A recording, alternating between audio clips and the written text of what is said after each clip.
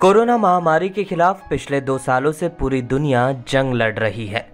इस जंग में दुनिया भर में लाखों लोगों ने अपनी जान गंवाई। लेकिन कुछ लोग ऐसे भी हैं जिन्होंने इस वायरस को मात देकर एक नई उम्मीद जताई। उत्तर प्रदेश के मेरठ में ऐसा ही एक मामला सामने आया है।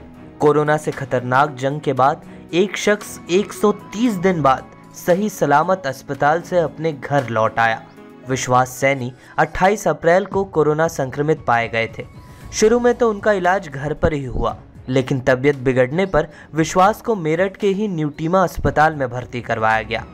अस्पताल के डॉक्टर अवनीत राणा ने बताया कि विश्वास सैनी का एसपीओ टू लेवल 16 पहुँच गया था, जो सामान्य परिस्थिति में पंचानवे से ऊपर रहता है।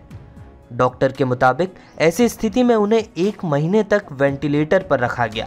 डॉक्टर ने बताया कि एक समय स्थिति बेहद गंभीर हो गई थी, लेकिन विश्वास की इच्छा शक्ति ने महामारी से जंग में अहम भूमिका निभाई और वह 130 दिन बाद अपने घर लौटने में कामयाब रहे।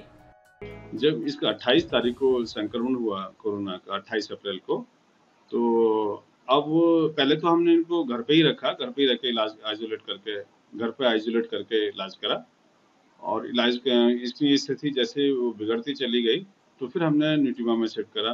न्यूट्रीमा में सेट करने के बाद जब ऑक्सीजन लेवल काफ़ी डाउन चला गया था और 16 तक आ गया था तो हमने वेंटिलेटर पर लिया शुरू में।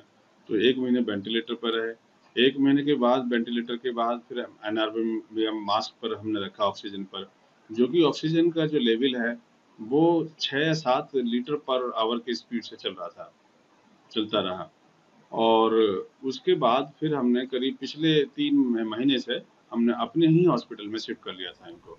130 दिन में जाके हमने मरीज़ को छुट्टी करी। अस्पताल में 130 दिन गुजारने के बाद घर लौटे विश्वास सैनी ने बताया कि इतने लंबे समय बाद परिवार के पास वापस लौटना एक सुखद एहसास है। विश्वास सैनी ने साथ ही कहा कि अस्पताल में उनके चारों ओर हो रही मरीजों की मौत को देखकर वे भी बहुत डर गए थे। विश्वास ने कहा कि डॉक्टर ने मुझे प्रेरित किया और मुझे अपने ठीक होने पर ध्यान केंद्रित करने को कहा। अपनी फैमिली के साथ मिलना 130 दिन बाद बहुत अच्छा लगा। डॉक्टर के मुताबिक विश्वास की हालत अभी स्थिर है, लेकिन उन्हें अब भी सांस लेने के लिए ऑक्सीजन सिलेंडर की ज़रूरत पड़ती है।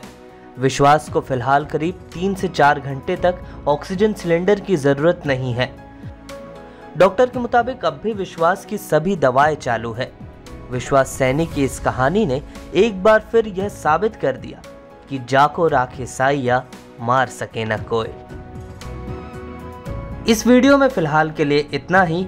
देश दुनिया की तमाम ताज़ा तरीन खबरों के लिए हमारे YouTube चैनल लोकमत हिंदी को सब्सक्राइब करें। अगर यह वीडियो आप Facebook पर देख रहे हैं तो हमारे पेज को फॉलो करना न भूलें।